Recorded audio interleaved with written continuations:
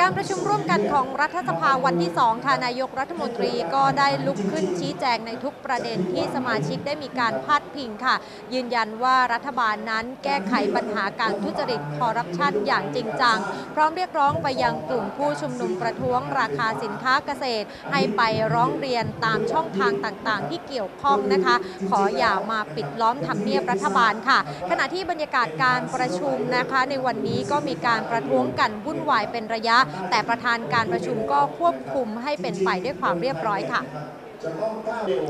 ค่ะโดยการอภิปรายนโยบายรัฐบาลในช่วงเช้าวันนี้นะคะนายพรเพชรวิชิตชลชัย รองประธานรัฐสภาก็ทำหน้าที่ประธานการประชุม ซึ่งช่วงแรกสมาชิกนะคะได้หารือเกี่ยวกับกรอบการอภิปราย ซึ่งเห็นตรงกันว่าจะอภิปรายถึงวันเสาร์ก็ไม่เป็นไร เพราะยังเหลือผู้อภิปรายอีกถึง 40 คนค่ะ แต่เนื่องจากสมาชิกหลายคนติดภารกิจในวันพรุ่งนี้ จึงจะพยายามให้จบภายในวันนี้ค่ะ จากนั้นนะคะก็เกิดวิวาทะกันเล็กๆ ค่ะ ระหว่างนางปารีนาไกรครุปสส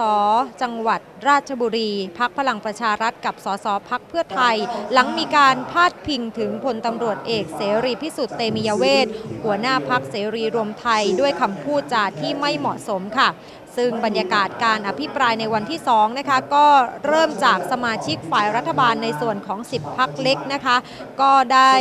อภิปรายในลักษณะของการเสนอแนะไปยังรัฐบาลค่ะ ในหลากหลายประเด็นค่ะทำให้ทางด้านของพลเอกประยุทธ์จันทร์โอชานายกรัฐมนตรี และรัฐมนตรีว่าการกระทรวงกลาโหมค่ะ ก็ลุกขึ้นชี้แจงข้อสักถามในหลายประเด็นเช่นกัน โดยระบุสาเหตุที่ต่างประเทศย้ายฐานการลงทุนจากไทย เพราะไม่ชอบการประท้วง จึงต้องทำให้ประเทศมีเสถียรภาพทางการเมืองและความสงบเรียบร้อย พร้อมขอเรียกร้องกลุ่มผู้ชุมนุมเรื่องราคาสินค้าเกษตรนะคะดำเนินการตามขั้นตอนยื่นเรื่องผ่านศูนย์ รับเรื่องราวร้องทุกข์ทำเนียบรัฐบาล ขออย่ามาชุมนุมปิดล้อมทำเนียบรัฐบาลอีกค่ะ เพราะจะทำให้ประเทศเสียโอกาส พร้อมยังรับปากนะคะที่จะดูแลแนวทางแก้หนี้เกษตรกร 25 ล้านคนต่อไป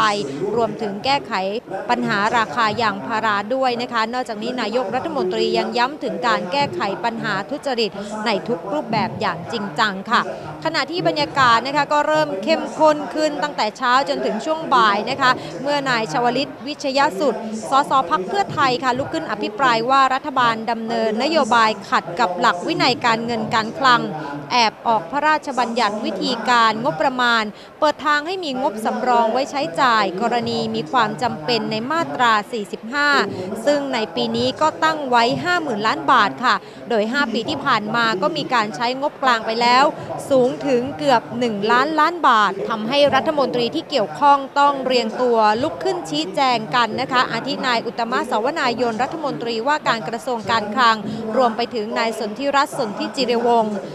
รัฐมนตรีว่าการกระทรวงพลังงานค่ะ เช่นเดียวกับกรณีของนายยุทธพงศ์จรัสเสถียรสสพักเพื่อไทยนะคะที่ลุกขึ้นอภิปรายอย่างดุเดือดนะคะ โดยการโจมตีถึงตัวเลขแหล่งที่มารายได้ เป็นรายลักษณ์อักษรตามรัฐธรรมนูญ จึงขอให้ชี้แจงอย่างชัดเจน รวมถึงการแก้ไขปัญหาทุจริตคอร์รัปชันนะคะ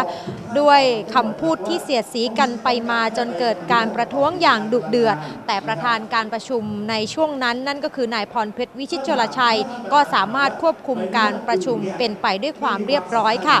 ทัศพลที่เสถียรถ่ายภาพพัชรินรัตนชัย รายงานจากทีโอทีแจ้งวัฒนะค่ะ